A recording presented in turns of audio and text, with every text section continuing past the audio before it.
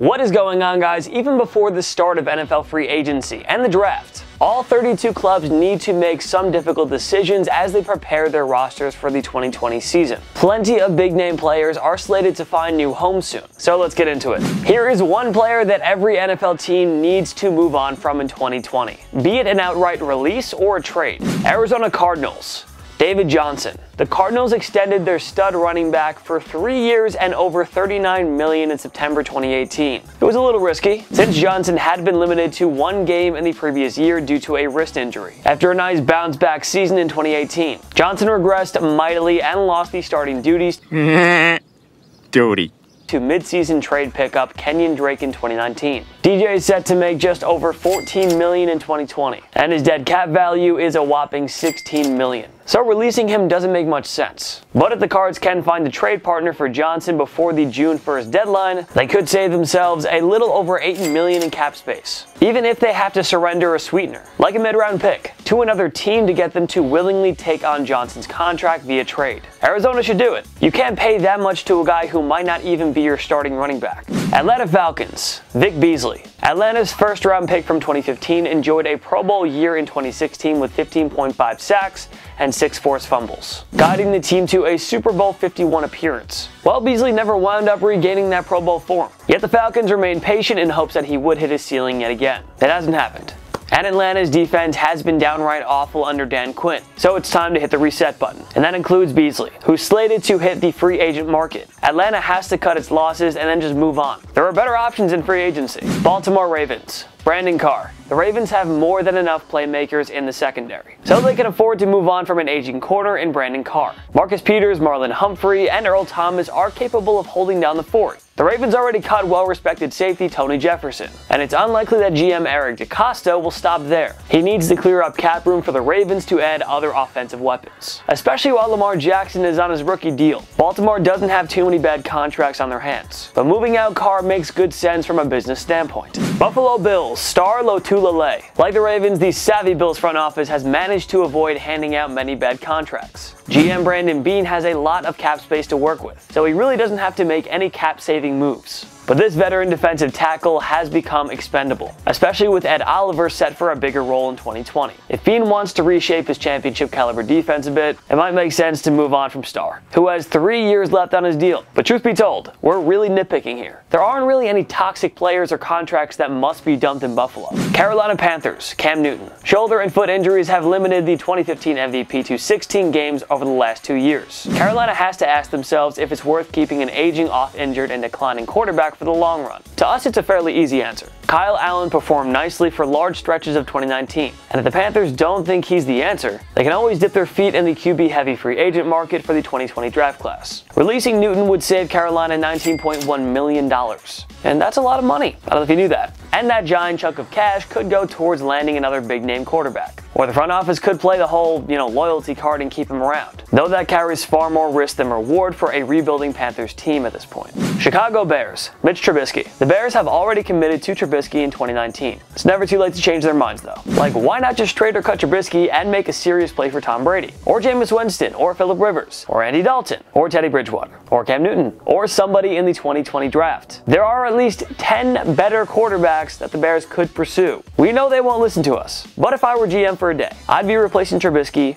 right away. At the very least, the Bears have to bring in a veteran to compete with Trubisky for the starting job. Cincinnati Bengals, Andy Dalton. The Red Rifle led Cincinnati to the postseason in each of his first five years. But the team has hit rock bottom ever since, and now they're in rebuilding mode, which means it's probably time to move on. The Bengals have to take Joe Burrow with the first overall pick. If and when they do, he'll be ready to lead the offense right away. Trading or cutting Dalton is a no-brainer for the Bengals. There's no incentive to keep an expensive backup around. Thank Andy for all he's done and move on. That's the right move here. But knowing the Bengals, they'll give him a $100 million extension while trading the first overall pick for three fifth round selections. Okay, that was an exaggeration, but you get what I'm saying. Cleveland Browns. David Njoku. The Browns roster is loaded with talent, and new GM Andrew Berry and head coach Kevin Stefanski should not touch it too much. What they really have to do is implement a no-nonsense culture more than anything. But if there's one player for the front office to move on from, young and underachieving tight end David Njoku might be the best option. Njoku was limited to four games in 2019 because of a wrist injury, and even before that, he wasn't exactly productive. What would you say you do here? The Browns should trade Njoku for a mid-round pick, and they should target a more established tight end like Austin Hooper or Hunter Henry in free agency, or even Kyle Rudolph or Jimmy Graham via the trade market. One of those four would work far better for the development of Baker Mayfield. Dallas Cowboys. Tyrone Crawford. The Cowboys will lose one of Dak Prescott, Amari Cooper, and Byron Jones. The expectation is that they'll keep the first two while losing the Pro Bowl cornerback. Prescott and Cooper figure to eat up a giant chunk of Cowboys cap space, which is why Jerry Jones needs to make a tough decision or two. Moving on from veteran tackle Tyrone Crawford, who carries a $9.1 million cap hit for 2020, makes good sense here. Unless Jones wants to cut ties with one of the very pricey Pro Bowl offensive linemen. Crawford is the most logical release candidate here. Denver Broncos, Royce Freeman. The Broncos drafted the Oregon product in the third round back in 2018, but the returns haven't been great. Freeman hasn't been able to unseat undrafted running back Philip Lindsay, who recorded consecutive 1,000 yard seasons. Freeman has done okay for a number two running back. I guess I have to take you at your word, number two. But the Broncos can do better. They may as well cut their losses here and continue to roll with Lindsay over the long run. Detroit Lions, Matthew Stafford. The Detroit Lions have remained terrible mainly because the Ford family ownership doesn't like making changes. They're super loyal to GM Bob Quinn for whatever reason, and Matt Patricia remains head coach despite consecutive losing seasons. Remember when Jim Caldwell was fired after recording three winning seasons in four years? The Lions don't have the guts to do it, but they should move on from the off-injured quarterback Matthew Stafford, who hasn't recorded a single playoff win in his career. Or, you know, they can accept mediocrity and keep on vying for 7 to 9 win seasons. Stafford needs a change of scenery. The Lions need to rebuild entirely. What sense does it make to keep around an expensive, above average quarterback who isn't going to lead you to the promised land? Green Bay Packers, Jimmy Graham. Aaron Rodgers has never used his tight ends that much, but it was not hard to get excited when the Packers landed Pro Bowler Jimmy Graham on a three year deal worth $30 million in 2018. In his two seasons with the Packers, Graham has only recorded 93 receptions for 1,083 yards and 5 touchdowns. Injuries and age have quickly caught up to Graham, and the Packers have no reason to believe he'll turn it around in his contract year. May as well cut Graham and spend the money on more productive pass catching options. Other than that, there aren't any expensive and underperforming Packers players that appear to be prime candidates for the chopping block. Houston Texans, Will Fuller. It's a shame that injuries have held back the 2016 first round pick, because Will Fuller and DeAndre Hopkins really could have formed a dynamic 1 2 pass catching duo. But injuries have limited Fuller to 42 games over his first four seasons. He's been quite productive while on the field. The only problem is that he's not on the field nearly enough. The Texans should stop waiting for Fuller to be healthy. They should just trade or cut him and find a capable number two receiver in free agency or in the deep 2020 draft class. AJ Green and Emmanuel Sanders would look great in Houston uniforms, and you know that. Indianapolis Colts, Jacoby Brissett. After Andrew Luck retired, Jacoby Brissett was handed a two-year extension worth $30 million with the Colts. But Brissett simply wasn't able to elevate the Colts offense in 2019, and they finished with a disappointing 7-9 record. There are way too many quality quarterback options out there this year, and they probably won't land Brady. But someone like Rivers, Dalton, or Bridgewater would fit nicely in Frank Reich's offense. Or the Colts could look to trade up and find their quarterback of the future in the draft. Either way, Brissett's 11 19 record as a starter in Indy speaks for itself. He's not a franchise quarterback, but rather a capable backup. The Colts need to move on from him and find somebody who can bring this team back to the playoffs. Jacksonville Jaguars, Marquise Lee. The Jaguars curiously handed Lee a four-year deal worth $38 million in the 2018 offseason, even though he had never put up Pro Bowl numbers. A torn ACL sidelined him for all of 2018, and he was limited to six games in 2019. Miraculously, the Jaguars are up against the cap despite being a pretty bad football team. They can't get Nick Foles' contract off their hands. They're stuck with him for now, but they can at least cut Lee Hey, Lee. and some veteran defensive players to clear some much needed cap space. Lee isn't about to return and put up a career year at the stage, and that's why the Jaguars need to accept their mistake and move on. Kansas City Chiefs, Daniel Sorensen. The veteran safety has made some big plays during his tenure in KC, helping them win Super Bowl 54 against the San Francisco 49ers. But the Chiefs will eventually have to find some cap room, with Patrick Mahomes expected to get a record setting extension. Cutting loose this guy who's entering the final year of his contract would save KC some cap room. But we're honestly nitpicking here. The Chiefs don't have many bad contracts. Their star players are deserving of what they're earning. Nobody would complain if KC wound up keeping him. I mean, they just won the Super Bowl, so he must have done something right. Los Angeles Chargers, Melvin Gordon. This is a really easy one. Gordon held out at the start of the season and missed four games. The Chargers wisely didn't give in because they were getting enough production from Justin Jackson and Austin Ekeler. And even when he did return, Gordon disappointed with just 3.8 yards per carry and four fumbles. The Chargers aren't going to suddenly overpay for a replaceable player who's coming off an extremely disappointing season. So, Mr. Gordon, good luck in your next team. Los Angeles Rams. Todd Gurley. That four-year, $60 million extension for Gurley used to look good. I mean, he's a two-time first-team All-Pro who took home the 2017 Offensive Player of the Year award. But knee injuries quickly caught up to Gurley, who hasn't been the same explosive game-changing force dating back to the 2018 postseason. No way the Rams can cut Gurley and take on a hefty dead money ticket, but they should shop him around the league and throw in a sweetener, maybe Robert Woods or a draft pick, and they can get a cheaper impact player of some sort. It's unlikely to happen, but we've seen crazier things unfold before. The Rams know they gotta try to find a way out of Gurley's deal, and a running back needy team with a lot of cap space might be nice enough to help. Las Vegas Raiders. Derek Carr. Still getting used to it. Kind of feel like I gotta say Oakland every time, but we'll all get used to it eventually. Raiders fans know all about the rumors of Derek Carr losing the Raiders locker room and the trust of Jon Gruden. We don't fully know what's happening behind the scenes, but we do know this. Carr is good not great. He's had more than enough time to prove himself as a championship caliber quarterback, and it just hasn't happened. Well, Vegas will be a prime hotspot for the relocated Raiders. The no state tax will help immensely as well. Tom Brady, Cam Newton, and Philip Rivers would be perfect fits for Gruden and the Raiders. But this can only happen if they trade or release Carr. Seems like an easy choice to us. Miami Dolphins, Albert Wilson. The Dolphins overpaid for Wilson when they gave him a three-year deal worth $24 million in 2018. There's no justifying his 2020 cap hit of approximately 10.833 million. Miami dealt away pretty much every meaningful impact player they had in 2019. There is plenty of cap space here in 2020 and beyond, but why not create even more by releasing a merely average and mightily overpaid wideout?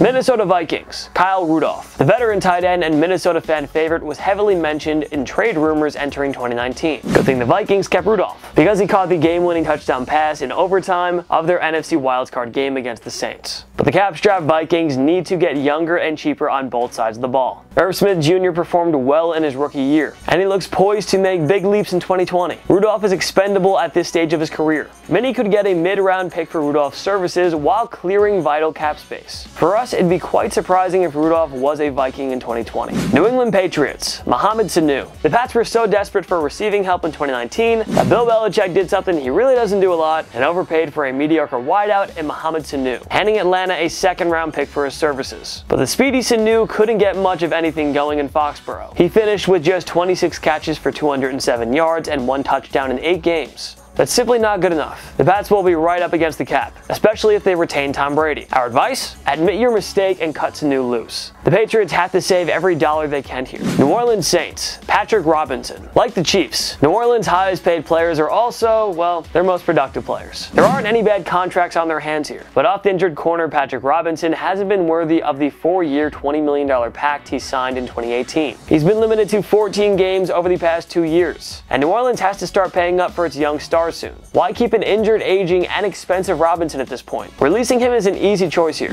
New York Giants, Nate Solder. Despite never earning a Pro Bowl selection, Nate Solder was a can't-miss commodity in 2018 free agency, since there aren't many truly reliable left tackles anymore. Solder inked a four-year, $62 million contract with the Giants in 2018, but he's performed well below expectations there. He recorded a mere 64.7 grade from PFF for the 2019 season, and the Giants shouldn't be willing to pay a large sum of money for that type of production again. Be it a trade or release, New York needs to move out Solder and rebuild their offensive line from scratch. No point in waiting for him to magically turn it around. It's not going to happen. New York Jets, Le'Veon Bell. Now the Jets might be keeping Bell, they might not. You know, you never know what's going to happen. The Jets handed Bell a four-year deal worth 52.5 million in 2019, and he simply didn't perform anywhere close to the Pro Bowl level we saw in Pittsburgh. Bell was heavily mentioned in trade rumors ahead of the 2019 deadline, with the Steelers being listed as a possible landing spot. Given Bell's overall skill set and better health status compared to the guys like Gurley, he isn't exactly impossible to trade. Adam Gase wouldn't fully commit to Bell for 2020, and reports suggested he wasn't happy about the Jets throwing so much money at this position. So the Jets should just admit that they screwed up, and deal Bell to another team. If they do, they should be able to fetch a mid or late round pick in return. Philadelphia Eagles, Alshon Jeffery. The Pro Bowl wideout played a huge role on the Eagles' Super Bowl 52 championship team, but injuries have slowed him down a bit, and Philly needs to reset a wideout. DeSean Jackson's return to Philly disappointed. He's a goner. Bye-bye. Expect underperforming wideout Nelson Agholor to also leave. I'm sorry, what? What part didn't you understand? The buh or the bye? Bye bye. With so many talented wideouts available in free agency and the draft, Howie Roseman has every reason to go younger and cheaper at the position. The Eagles can probably land a second or third round pick for Jeffery, or perhaps another impact player for a one for one swap. May as well do it while his value is high, because Jeffery just isn't getting any younger. Pittsburgh Steelers, Steven Nelson. Ben Roethlisberger's new deal looks iffy right now. But otherwise, the Steelers have done a pretty good job in managing their cap situation. However, veteran corner Steven Nelson should be deemed expendable here. A $10.75 million cap hit for 2020 and 2021. Yeah, no thanks. Especially since Pittsburgh has more than enough playmakers on defense. Nelson isn't what you'd call a Pro Bowl talent, and the acquisition of Minkah Fitzpatrick made him less valuable in Pittsburgh. The Steelers should look to trade Nelson or release him. He isn't anything close to being worthy of a $10.75 million cap hit. San Francisco 49ers, Jerick McKinnon. McKinnon signed a four-year, $30 million pact in 2018, but an ACL tear has prevented him from playing a single snap in San Fran. There is no reason to keep McKinnon around, especially since the 49ers are loaded at the running back position. This is a no-brainer for the 49ers, who need to spend money to find a new wideout or two. McKinnon simply won't be a 49er in 2020. Seattle Seahawks. Quandre Diggs. The Seahawks need to rebuild their entire defense. Shaq Griffin is among the few standouts on that unit, and the Seahawks won't be a Super Bowl contender until they upgrade both their pass rush and their secondary. Safety Quandre Diggs has been solid, but not anything spectacular. Seattle can find more productive safeties in the draft if they don't feel like dipping their feet in the free agent market. Pete Carroll needs to bring sweeping changes to his defense and he can start with Diggs, but otherwise, there aren't any other expensive and underachieving veterans that are prime cut or trade candidates here. Tampa Bay Buccaneers. Jameis Winston. The Bucs may be tempted to keep a guy who threw for 5,109 yards and 33 touchdowns in 2019. They may also be tempted to move on from a guy who threw a whopping 30 interceptions in 2019. Our advice, find somebody else already. Winston has a 28 and 42 record through his first four seasons as a starter. The attitude problems and the issues with protecting the football are too much to overcome. Why expect them to suddenly change now? Go sign Philip Rivers or Cam Newton or Tom Brady. Literally any of them. Probably not Brady, but you know what I'm saying. Stop being loyal to a guy who puts up fancy stats but not enough wins. Tennessee Titans. Delanie Walker. The three-time Pro Bowler is entering his final year of his contract. But as much as the Titans love Walker, they simply have to move on from the veteran tight end. Injuries have limited Walker to just eight total games over the last two years, and they made the AFC Championship game without him in 2019. He's a nice luxury when healthy, but not a necessity. Walker's cap hit for 2020 is $8.085 million. The Titans didn't need him with Jonnu Smith ready for a bigger role in 2020, and the Titans need cap space if they want to keep Ryan Tannehill and Derek Derrick Henry. So expect Walker to be released. Washington Redskins. Trent Williams. Having disrespected the seven-time Pro Bowl offensive tackle and franchise star, the Redskins owe it to Trent Williams to trade him to a team that will appreciate him. That's all we can really say. Their handling of his health status was nothing short of embarrassing. But what do you expect from this dysfunctional organization? If Dan Snyder can just swallow his pride and trade Williams, he'd be doing some great for Washington's future. They're looking at at least a first-round pick for Williams, and possibly more. So apologize to Williams, trade him, and move on. Shouldn't be that complicated. Sure, you can do it. Which player do you think your favorite team should move on from this offseason? Join me in the comment section below. Make sure to follow myself and TPS on social media. We post great content all the time. Uh, TikTok, Instagram, Twitter, we're on everything. Go find us.